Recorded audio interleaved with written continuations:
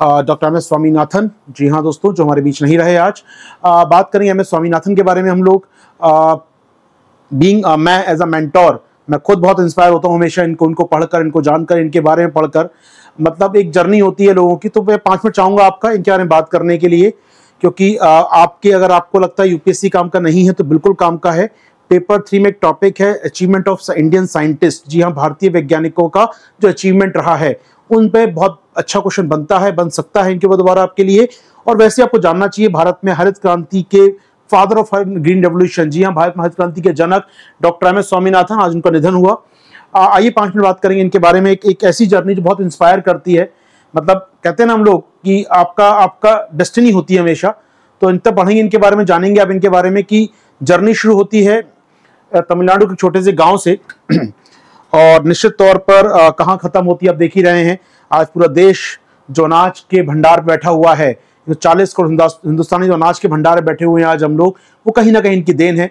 आज हर कोई व्यक्ति जानना चाहता है, बात करता है इनके बारे में। देश का सबसे बड़ा वर्ग, अगर मैं कहूँ किसान किसान जो बात करते हैं, किसान किसी को जाने ना जाने, वो कहते हैं, हमारे लिए एम एस स्वामीनाथन आयोग की सिफारिशें लागू करें।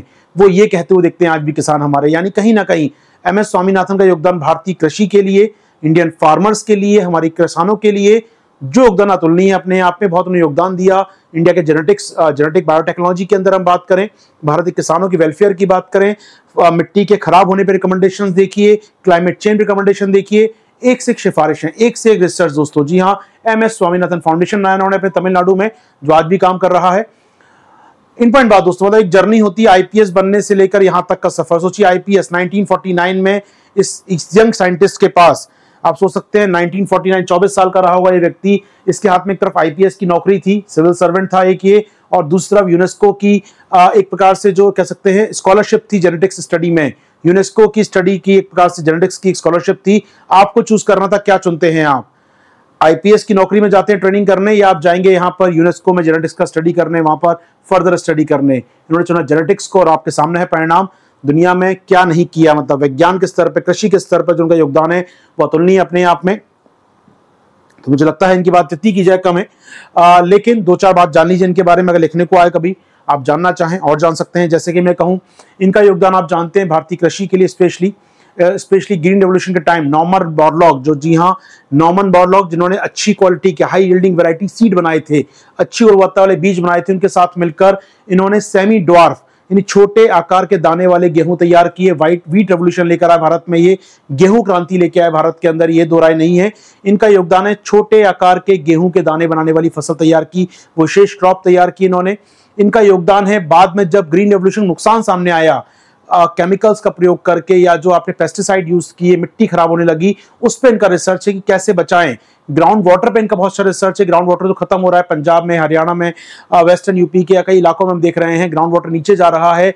उस ग्रीन रेवोल्यूशन के दुष्प्रभाव के रूप में उस पर इनका रिसर्च था। 2004 में तो जब इनकी अध्यक्षता बनाया गया नेशनल फार्मर कमीशन राष्ट्रीय कृषक आयोग बनाया गया जिनकी अध्यक्षता में 2004 में दो साल लगे रिकमेंडेशन आने में 2007 में रिकमेंडेशन दी इन्होंने अपनी। नेशनल फार्मर कमीशन राष्ट्रीय कृषक आयोग ने अपनी सिफारिशें दी दो में।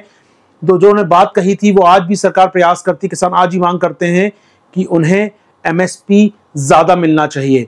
एमएसपी 1.5 टाइम मिलना चाहिए, उनकी प्रोडक्शन कॉस्ट का, उनकी लागत का। सरकारों ने प्रयास किया है। हम कई बार बात करते हैं A two plus F L cost C C cost A two cost A two plus F L या सी सी कॉस्ट जी हाँ जो एग्रीकल्चर एवरेज एग्रीकल्चर कॉस्ट आ रही है, या फैमिली लेबर को मिलाकर, या कंप्रहेंसिव कॉस्ट तो किसान मांगते हैं, भैया, समग्र लागत दे दीजिए हमको, उसका डेढ़ गुना दीजिए। सरकार ने कहा, नहीं, वो नहीं दे सकते हैं। अभी सरकार देती है one percent of A two plus F L ये कॉन्सेप्ट कहाँ से आया? ये ऑफकोर्स स्वामीनाथन की देन थी भारत में, कि उन्होंने कहा था, किसान की लागत का आपको डेढ़ पर गुना देना पड़ेगा फ़सल का, तभी एग्रीकल्चर सस्टेन कर पाएगी, तभी किसान खेती करना चाहेगा। वरना वो मौका मिलते ही खेती छोड़ देगा, जो हम देख रहे हैं, लगातार हमारे किसान भाई खेती छोड़ रहे हैं। उत्पादन में इस साल भी वेरिएशन दिख रहा है। इनकी रिकमेंडेशन क्लाइमेट चेंज को लेकर सस्टेनेबल एग्रीकल्चर को लेकर प्रिसीजन फ़ार्मिंग को लेकर बदलते हुए क्लाइमेट चेंज के अकॉर्डिंग फ़सलें कैसे बदले, उसको देखा जाए। तो हर सेक्टर में रिकमेंडेशन दी, हर सेक्टर में इनका योगदान है कहीं ना कहीं, और being a mentor for me अगर बात करूँ मैं, एक बार मौका मिला था दो हज़ार में से बात करने का मुझे। उस समय जर्नलिस्ट हुआ करता था फ़ील्ड में तो बारह में से बात करने का मौका मिला था तो तब से मैं कह सकता हूँ फॉलो कर रहा हूँ, मैं इनको डायरेक्टली सुनने का प्रयास करता हूँ, हमेशा से इनको समझने का प्रयास करता हूँ। कई बार मैं जो वर्ड्स बोलता हूँ, आपको इसमें कहता हूँ, कृषि के लिए फोर पी या मेरे फेवरेट एक एक अपने आप में एक तकिया कलाम बोलता हूँ, बीज से वितरण की समस्याएँ। वो जो तकिया कलाम है बीज से वितरण बोल देता हूँ मैं फ्रॉम सी टू डिस्ट्रीब्यूशन वो मेरा नहीं ऑफकोर्स स्वामीनाथन सर का ही है। उन्होंने कहा था from sea to distribution many issues in agriculture Bharat में कृषि के अंदर बीज से वितरण तक कई समस्याएँ हैं। किसान बीज बोता है, वहाँ से लेकर फ़सल काट के उसको वितरित करना, उसे मंडी में ले जाकर डिस्ट्रीब्यूट करके आपके घरों तक पहुंचाना, ये पूरी जो फ़ूड चेन है हमारे यहाँ पर, ये पूरी फ़ूड सप्लाई चेन पूरी समस्याओं से भरी हुई है। तो ये जो हम लोग कहते हैं सी टू डिस्ट्रीब्यूशन चेन या बीज से वितरण की चेन ये कहीं ना कहीं जो आप शब्द सुनते हैं, फोर पी बोलता हूँ मैं कई बार आपको, इनसे सीख सीख कर मैंने शब्द निकाला सिक्स आई प्लस काउ की बात करते हैं हम लोग, या कई बार आप देखते हैं शॉर्ट फॉर्म तैयार करते हैं हम लोग अपनी खेती के अंदर, कृषि के अंदर। मैं थ्री आई की बात करता हूँ कि इन्वेस्टमेंट चाहिए इनोवेशन चाहिए इंफ्रास्ट्रक्चर चाहिए हमको, वो सभी देन है। ऑफकोर्स मेरे लिए तो कम से कम देन है स्वामीनाथन जी की तो दो राय नहीं है। हम याद करें इनको आज, समय है बात करने का। एक क्वेश्चन यूपीएससी ने पूछा दोस्तों आज से कुछ साल पहले, मैं इनसे बात, इनके बारे में चर्चा करूँगा आपसे अगर। तो कहीं ना कहीं जब ये हरित क्रांति इन्होंने कहा था हरित क्रांति को ज्वाइन किया था, तब देश में सोच सकते हैं, आज़ादी के समय छह मिलियन टन गेहूँ होता था। छह मिलियन टन गेहूँ।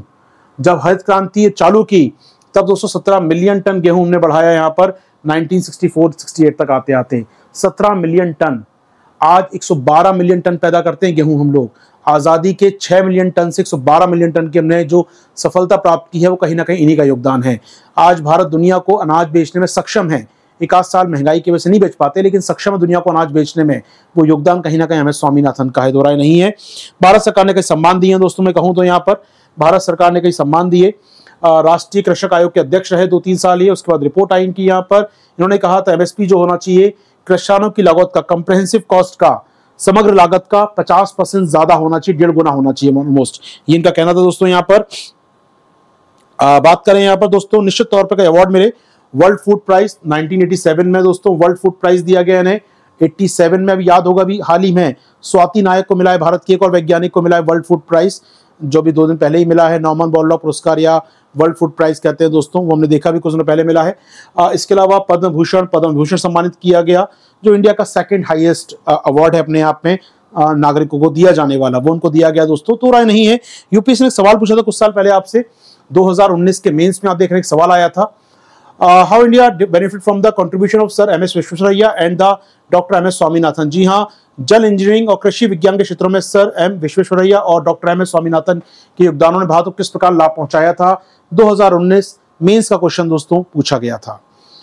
उम्मीद कर रहा हूँ, मेरी चर्चा आपको सार्थक लगी होगी, कुछ ज्ञान बढ़ा होगा, कुछ ज्ञान आपके पास रहा होगा। तो इनके योगदान पे अलग सवाल ले सकता है यूपीएससी फिर आपके साथ। एम एस स्वामीनाथन का योगदान, क्योंकि पेपर थ्री में टॉपिक है, भारतीय वैज्ञानिकों के योगदान पर यूपीएससी पूछता रहा है दोस्तों। मैं अपनी तरफ़ से निजी स्तर पर चाहूँगा, आप एक आर्टिकल ज़रूर पढ़िएगा, समय मिले तो। दो हज़ार उन्नीस की योजना मैगजीन उठाइएगा, मैं तो योजना मैगजीन बहुत अच्छी होती है। योजना मैगजीन पढ़ना बंद कर चुके हैं, छात्र आजकल मैं जानता हूँ, कोई बात नहीं गलती आपकी नहीं है, आपके मेंटोर ऐसे होते हैं। योजना मैगजीन पढ़ा कीजिए, बहुत अच्छी मैगजीन होती है दोस्तों। खुद से पढ़ सकते हैं, उसमें ऐसा कुछ नहीं है कि वो आशीर्वाद बताएँगे, तब होगा वो। एक महीने में एक बार मैगजीन आती है, दस बार आर्टिकल आते हैं पढ़ने बैठेंगे, दो दिन में एक आर्टिकल पढ़ेंगे, तब भी हो जाएगा। हम एक दिन में चार आर्टिकल पढ़ते हैं, वहाँ आपको दो दिन में एक पढ़ना है। बारह, तीस दिन में बारह आर्टिकल दस बार आर्टिकल पढ़ने होते हैं, पढ़ लीजिए, आराम से प्रैक्टिस कर लीजिए। इंपॉर्टेंट बात है, जनवरी महीने की 2019 की योजना मैगजीन मेरे पास है, वैसे आपको मैं दिखाना चाहूँ तो आप दिखना चाहें तो देख सकते हैं मेरे साथ यहाँ पर। कहीं रखी होगी दोस्तों, ये रही। योजना मैगजीन देख रहे हैं आप दोस्तों यहाँ पर, ये जनवरी महीने में आई थी 2019 में नवाचार के नाम से इनोवेशन के नाम से आई थी। इंग्लिश में कहा शायद इनोवेशन दोस्तों नाम था मैगजीन का। और इसमें एक सेकंड आर्टिकल था, बहुत प्यारा आर्टिकल था दोस्तों। इसमें सेकेंड आर्टिकल जो आया था 2019 की योजना मैगजीन में। और सेकंड आर्टिकल जो था इसके अंदर बहुत ही शानदार आर्टिकल था। और वो आर्टिकल था आपका एम एस स्वामीनाथन सर का कृषि क्षेत्र में नए टेक्नोलॉजिकल इनोवेशन से किसान कल्याण। जी हाँ कैसे एग्रीकल्चर किसान का वेलफेयर हो सकता है? हमारे यहाँ एग्रीकल्चर इनोवेशन से। यूपीएससी ने इस आर्टिकल के लिखने के बाद 19 के मेंस में 20 के मेंस में बैक टू बैक सवाल पूछा। मैं दिखाता हूँ, वो भी आप चाहेंगे तो अगर। जी हाँ दोस्तों आप देख रहे हैं स्क्रीन रेसिंग ये तो ये जो आर्टिकल है आपका एग्रीकल्चर पे और बड़ा सुंदर आर्टिकल आप पढ़ेंगे इसको अगर तो आप पाएँगे बहुत सुंदर आर्टिकल लिखा है इन्होंने ये। मैं इसकी बात क्यों कर रहा हूँ? समझेंगे एक बार हम लोग यहाँ पर। चलिए तो आप देख सकते हैं ये जो आर्टिकल है दोस्तों यहाँ पर। कृषि उत्पादन में सुधार ये जो आर्टिकल पढ़ रहे हैं किसान कल्याण ये बहुत शानदार ने बात की टेक्नोलॉजी से कैसे हम लोग आगे बढ़ सकते हैं। कैसे हम लोग आगे बढ़े दोस्तों? उन्होंने पूरी बात, बात की है। उन्होंने कहा कि जेनेटिक इंजीनियरिंग से क्या फ़ायदे हो सकते हैं? जेनेटिक इंजीनियरिंग के फ़ायदे क्या हैं? क्लाइमेट चेंज में क्या करना चाहिए? मतलब आप इवन आज पाँच साल बाद भी पढ़ूं उस आर्टिकल को मैं अगर ना तो मानता हूँ कहीं ना कहीं अब सोचिएगा, पहले हमारे कृषि मंत्रालय नाम हुआ करता, मंत्रालय कृषि मंत्रालय नाम था पहले हमारे यहाँ पर। इन्हीं की सिफारिश थी किसका नाम बदल के क्या किया जाए? कृषि मंत्रालय का नाम बदल के कृषि और किसान कल्याण मंत्रालय किया जाए तो निश्चित तौर पर किसानों को जोड़ा जाए, किसानों कल्याण में ध्यान दीजिए कृषि कल्याण मत कीजिए, किसानों कल्याण भी कीजिए। ये सिफारिश थी किन की दोस्तों? इन्हीं की सिफारिश थी यहाँ पर ये, किसान आयोग की रिपोर्ट की सिफारिश थी दोस्तों। ये सिफारिश आई थी इनकी 2006 में, जो सिफारिश आई थी। तो कहीं ना कहीं सरकार ने, फोकस किया, एमएसपी बढ़ाया सरकार ने, सारा काम किया है। तो रिकमेंडेशन आज भी इनकी बहुत रिलेवेंट है अपने आप में, बहुत अच्छे आर्टिकल है, पढ़ने का समय तो पढ़िएगा दोस्तों। इसके अलावा बता दूँ, मैं आप इस आर्टिकल को देखना चाहें तो कहाँ देख सकते हैं। तो ये जनवरी की योजना है दोस्तों, इंग्लिश में आप देख सकते हैं ये। तो इंग्लिश में भी एक मैगजीन है अपने आप में ये, और यहाँ भी आपके लिए एम एस स्वामीनाथन का आर्टिकल है इसको पढ़ लीजिएगा समय मिले तो आपके पास। ठीक है चलिए। तो सेकंड आर्टिकल है मैगजीन का मिल जाएगा इजीली आपको पढ़ने के लिए। चलिए दोस्तों बाहर आते हैं हम लोग यहाँ पर।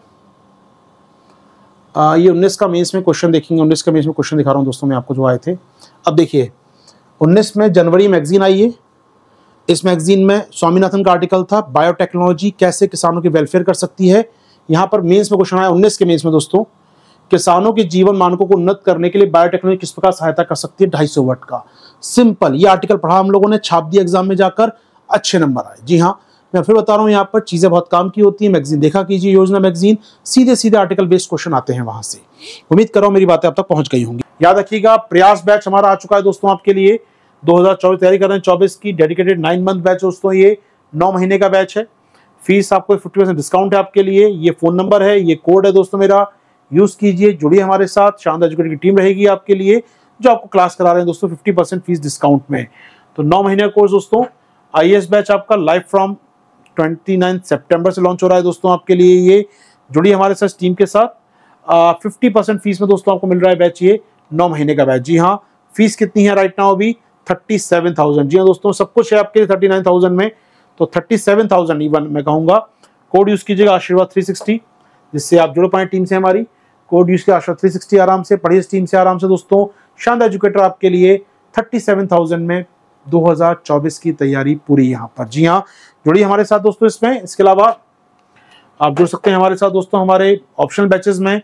एजुकेटर्स आपके लिए ऑप्शनल बैच लेकर आए दोस्तों। जहाँ आंसर राइटिंग भी है आपके लिए।